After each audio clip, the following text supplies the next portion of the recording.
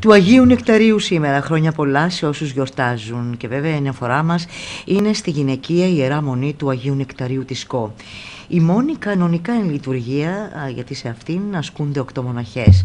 Βρίσκεται στην περιοχή Αγίος Νεκτάριος, που πήρε το όνομά της από ημιτελή μικρό ναό του Αγίου, που υπήρχε εκεί και είχε θεμελιωθεί από τον Μητροπολίτη Εμμανουήλ. Το νόμο αυτό είχε ξεκινήσει το 1965-1966 ο Κωνσταντίνος Μαμουζέλος με τη βοήθεια του Δημητρίου Ιεροκλή και άλλων πιστών όπως αναφέρεται στον τόμο της Μητρόπολης για τις εκκλησίες του νησιού μας.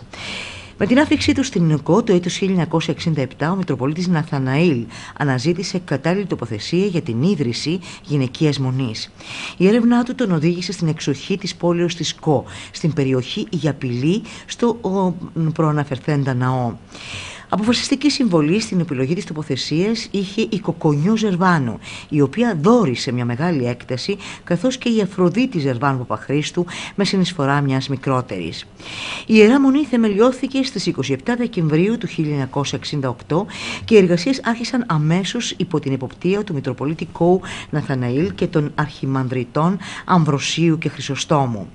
Την ολοκλήρωση και επέκταση του ημιτελούς ναού και της κατασκευής της Ιεράς Μονής ανέλαβαν οι Ιωάννης Μπαλαλής και Κωνσταντίνος Μαμουζέλος με την πολύτιμη βοήθεια των αξιωματικών και στρατητικών του 582 τέχτ του τάγματος μηχανικού με επικεφαλής τότε τον διοικητή Ευάγγελο Σαβράμι. Η Ροδίτησα μοναχή Μαριάμ, η οποία είχε διοριστεί δασκάλα στην ΚΟ στις 21 Απριλίου του 1967, πήγε στην Κάλυμνο προς αναζήτηση μονής. Εκεί συνάντησε τη γερόντισα Ισιδώρα και αποφάσισαν να ασκηθούν μαζί. Στις 11 Ιανουαρίου του 1968 έφτασαν στην ΚΟ, όπου ο Μητροπολίτης Κόου Ναθαναήλ της ενημέρωσε ότι ήδη κτιζόταν μονή και σύντομα θα μπορούσαν να εγκατασταθούν. Αρχικά διέμειναν στον Άγιο Ιωάννη τον Χωστό και αργότερα στον Ασώματος Σφενδιού. Στις 29 Μαΐου του 1969 οι μοναχές Μαριάμ, Τσουβαλά, Ισιδώρα Τρικίλη και Εφροσύνη Μπάρκα εγκαταστάθηκαν στη νεόδημη τη Μονή ενώ συνεχίζονταν οι εργασίες για την ολοκλήρωση του ναού και των λοιπών χώρων. Με φροντίδα της αδελφότητας της Ιεράς Μητροπόλεως και Πιστών, τα έργα ολοκληρώθηκαν, οικοδομήθηκαν δύο ακόμα ιεροί ναοί και έγινε ο περίβολος. Ο Μητροπολίτης Κόου Ναθαναλή φρόντισε να επισκέπτεται την ιερά μονή πνευματικός από το Άγιο Όρος για να εξομολογεί τις μοναχές, πρακτική που ισχύει μέχρι σήμερα. Πρώτος πνευματικός αδελφότητας ήταν ο Αρχιμανδρίτης Γαβριήλ Διονυσιάτη, ο οποίος λόγω αποστάσεως και ηλικίας επικοινωνούσε με τις μοναχές διαλληλογραφίε. Ακολούθησε ο Φίλιππος Λαβριώτης και ο πατήρ Καλίστρατος Λαβριώτης ε, και ο Πανισιολογιώτατος σήμερα πνευματικός της Μονής είναι ο ηγούμενος της Ιεράς Μονής Σταυρονικήτας ε, Αρχιμανδρίτης Τείχων στην Ιερά Μονή διαβίουν μοναχές Μαριά Μτσουβαλάη, Ισιδώρα Τεκίλη, Εφροσύνη Μπάρκα, Εφραξία Κουκούλα, Φεβρονία Σπανού, Νεκταρία Μαδονή, Ευγενία Δεμπιλιοπούλου και Δαμαντίνη Σταυρουλάκη.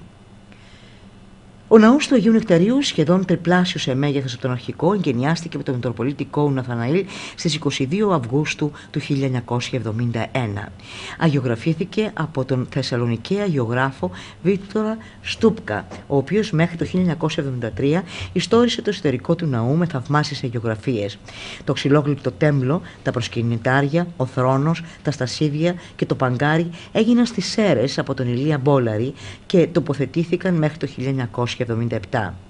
Πίσω από το ιερό βήμα του ναού του Αγίου Νεκταρίου υπάρχει το μνήμα του Μητροπολίτη Κόου Ναθαναήλ Δικαίου Ανάμεσα στην πλούσια βλάστηση και τα υψηλά κυπαρίσια συναντάμε το ναό της Οσίας Ειρήνης Χρυσοβαλάντου, ο οποίος θεμελιώθηκε στις 23 Αυγούστου του 81 από τον Αρχιμανδρίτη Αμβρόσιο, νυν Μητροπολίτη Καρπάθου και Κάσου.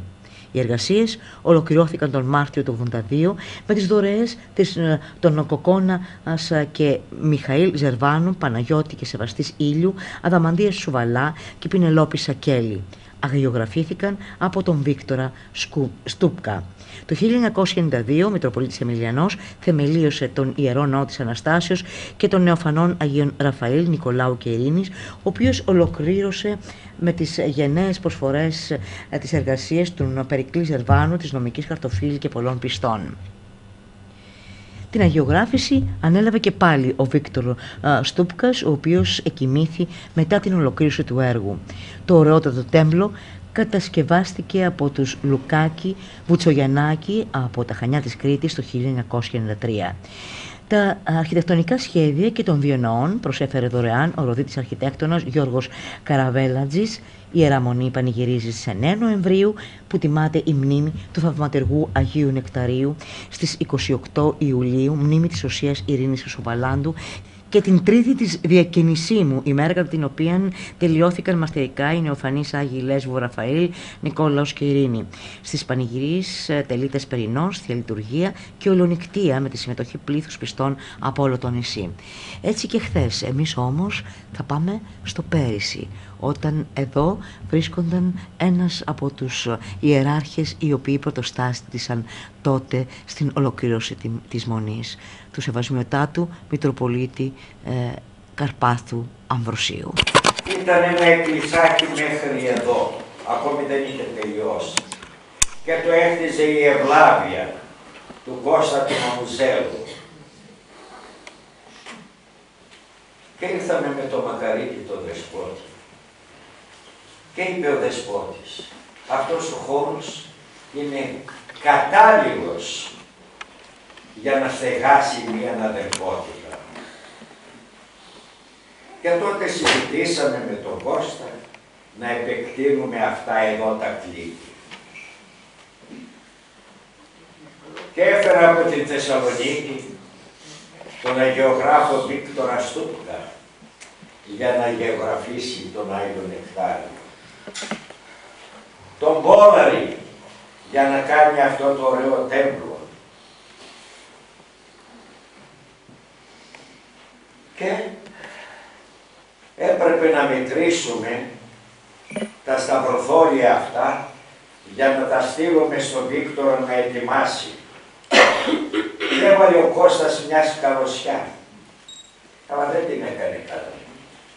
Και έπεσε και τσακίστηκε και τον πήγα αμέσως στην Αθήνα, στο νοσοκομείο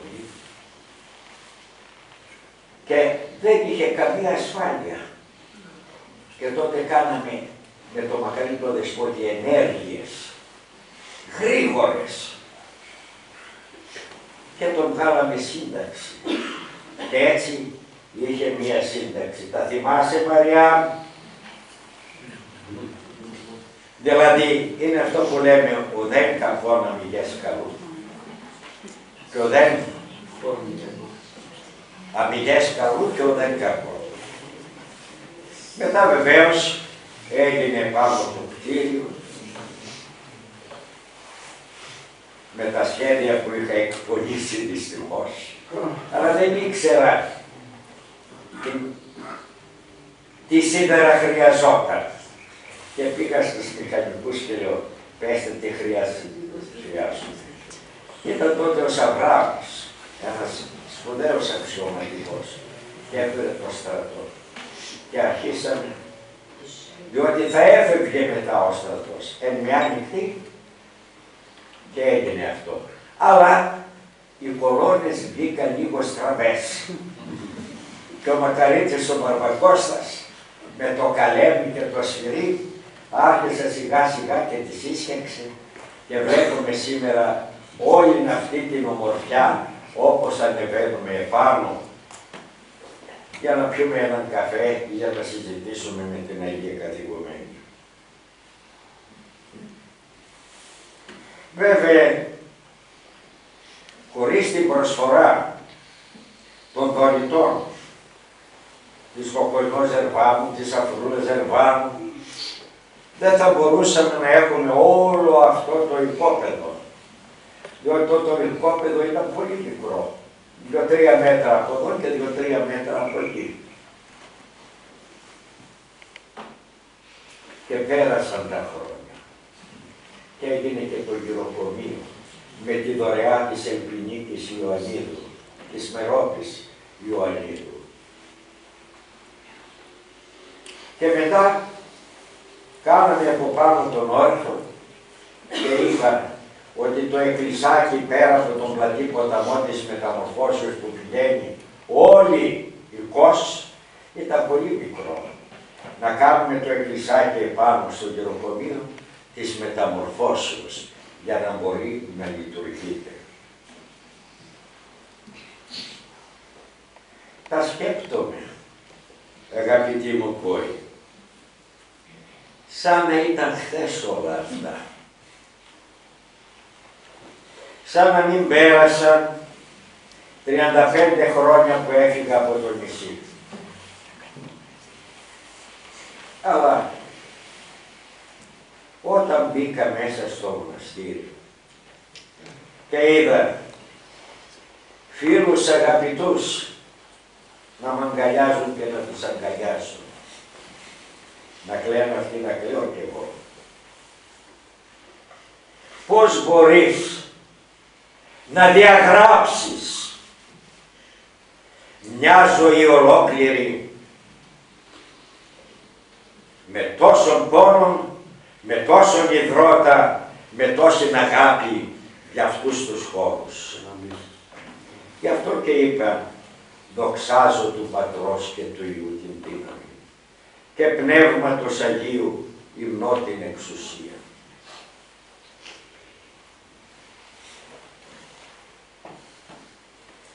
Ναι, ήμασταν Μαριάμ και Ισιδώρα.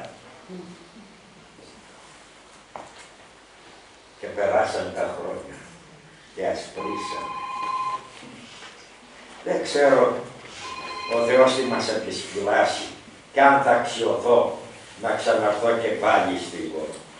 Βέβαια, αυτό το ταξίδι έγινε προνοία και ευλογία και προσκλήση του Σεβασμιωτάτου Πιμενάρχουσας και αγαπητού εν Χριστώ αδελφού Αγίου Φώ και Νησίρου Κυρίου Ναθαναήλ για να παραβρεθώ στην χειροτονία του Διακόνου Αμβροσίου που τιμήσενε και έδωσε το όνομα μου.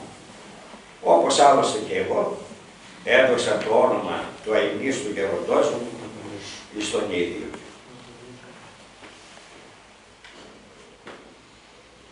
Δεν ξέρω από εκεί δίπλα αν μας ακούει ο αείμνηστος Ναθαναήλ, ο οποίος είναι και κτήτορ της Ιεράς Ταύτης Μονής. Είμαι βέβαιος ότι τα ακούει. Όταν ήταν άρρωστος, συζητούσαμε και έλεγα τι γίνεται, πού θέλεις, θα πάμε στο Άγιο Όρος να τα αφήσει. Λέει από εκεί ξεκίνησα, εκεί πρέπει να πάω. Στις τελευταίες μέρες, όταν είδε την αγάπη, την τρομερή αγάπη των κόλ που ξενυχτούσαν έξω από την Μητρόπολη, κόσμος και δουλειάς και περίμενα να ξημερώσει η μέρα για να δουν ότι ζει ακόμη ο Δεσπότης. Είπε, εδώ να τα έχω απλώσει. Διότι με αγάπησαν πολύ και τους αγάπησα πολύ. Και έτσι η παρουσία του έστω κάτω από την κρύα πλάκα του τάφου είναι ζωντανή.